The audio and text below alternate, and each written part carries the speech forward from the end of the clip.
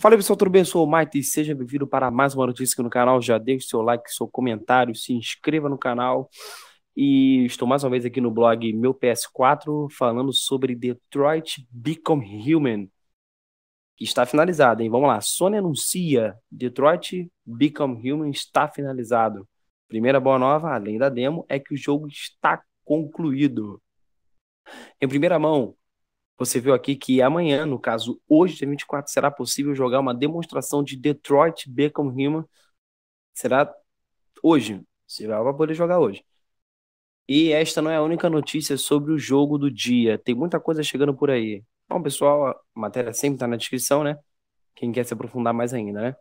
A primeira boa nova, além da demo, é que o jogo já está concluído. Através do PlayStation Blog, que o Lame de Fondamier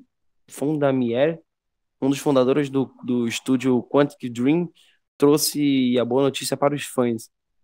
Durante esses quatro anos, passamos por todo tipo de estado e emoção que o desenvolvimento de um projeto tão desafiador inclui. O orgulho de trabalhar em algo especial e único, as dúvidas para conseguir todos os nossos objetivos criativos e técnicos, a esperança sempre que lançávamos trailers e imagens para o público de ver reações positivas ou o medo de não ter tempo e recursos suficientes para fazer tudo perfeito, tudo ficar perfeito, a alegria de finalmente ver todas as peças de quebra-cabeça juntas, cena após cena, e por fim, poder jogar o game completo do início ao fim. E hoje, P, P, P ou P, não sei. E hoje, P com uma mistura de todos esses sentimentos, e estamos aqui, estamos aqui. Disse, no caso, o Guilherme, né? Então, aqui, ó. Esse aqui é o Blu-ray do teste, ó. Cara, que foto maneira, mano. Muito interessante isso. Parece até um série pirata.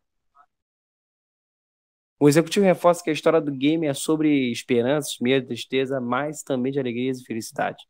De acordo com ele, foi um trabalho de longos anos e todos do time estão orgulhosos pelo resultado. Por fim, uma mensagem.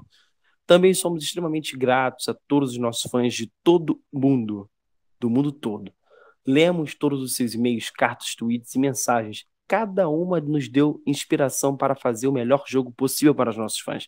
Não podemos esquecer de agradecer a Sony e toda a família PlayStation por acreditar em nós e nos deixarem tornar esse sonho uma verdade. Detroit Become Human chega nos PlayStation 4, no seu, no, de todo mundo, dia 25 de maio. Lembrando que é só PlayStation, não tem para PC até o momento, né?